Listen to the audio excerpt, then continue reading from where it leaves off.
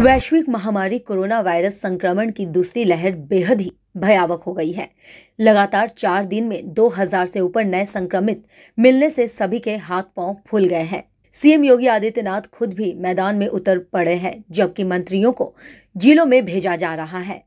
हज़ार से अधिक डॉक्टर और मेडिकल स्टाफ भी संक्रमित हैं। उत्तर प्रदेश में बीते 24 घंटे में कोरोना वायरस संक्रमण के रिकॉर्ड बारह नए मामले सामने आए हैं, जबकि 24 घंटे में 48 लोगों ने दम तोड़ा है। इस तरह से प्रदेश में अब एक्टिव केस की संख्या अंठावन है। बीते 24 घंटे में बारह नए केस आए, जबकि हॉस्पिटल से डिस्चार्ज होने वालों की संख्या सिर्फ़ 2207 ही है। सूबे की राजधानी लखनऊ में नए संक्रमितों के मामले में शीर्ष स्थान बरकरार रखा है। लखनऊ में 24 घंटे में चार हज़ार उनसठ केस मिले हैं जबकि 23 लोगों ने दम तोड़ दिया है। लखनऊ में अब 16,990 एक्टिव केस है। लखनऊ के बाद प्रयागराज में 1,460 नए केस है। यहाँ दो लोगों की मौत हो गई है। यहाँ पर 6,902 एक्टिव केस है। वहीं बनारस में नौ वहीं कानपुर नगर में 706 केस देखने को मिले हैं। कानपुर में छह लोगों की मौत भी हो चुकी है। बीते 24 घंटे में दो दशमलव बारह लाख लोगों का कोरोना टेस्ट किया गया है। ये अब तक की सर्वाधिक कोरोना जाँच है। आपको बता दें कि दो दिन पहले दो दशमलव चार लाख का टेस्ट किया गया था। बसपा में जिला पंचायत सदस्य पद की सूची का विवाद इतना गहरा गया है कि कई दिग्गजों को बाहर होना पड़ा। शनिवार को जिलाध्यक्ष सीताराम गौतम ने हाई कमान के निर्देश पर पूर्व मंत्री अयोध्या प्रसाद पाल पूर्व विधायक आदित्य पांडे जहानाबाद के पूर्व चेयरमैन अनवारुल हक को पार्टी विरोधी गतिविधियों में संलिप्त होने के कारण निष्कासित कर दिया गया। कहा कि कई बार चेतावनी के बाद ये लोग झंडा बैनर के साथ बागी दावेदारों का चुनाव प्रचार कर रहे थे।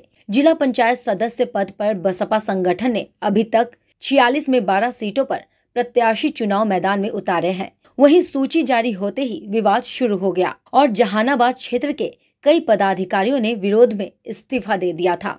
बसपा के मिर्जापुर, प्रयागराज मंडल के सेक्टर प्रभारी अशोक गौतम ने कहा कि पार्टी विरोधी गतिविधियों में शामिल होने की शिकायत राष्ट्रीय अध्यक्ष के पास तक पहुँची। जिला अध्यक्ष ने तीनों नेताओं की कार्यशैली की जाँच कराई। पता चला कि ये लोग पार्टी सूची से इतर अपने प्रत्याशी मैदान में उतारकर पार्टी के झंडे बैनर का प्रयोग कर रहे हैं। इसी के साथ अशोक गौतम ने यह भी कहा कि राष्ट्रीय अध्यक्ष मायावती के निर्देश पर ये कार्रवाई की गई है।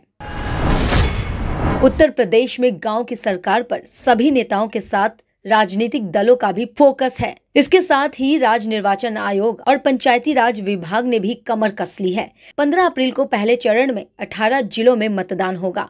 इसके बाद 19 को दूसरे चरण के मतदान में 20 जिलों के लोग अपने अधिकार का प्रयोग करेंगे।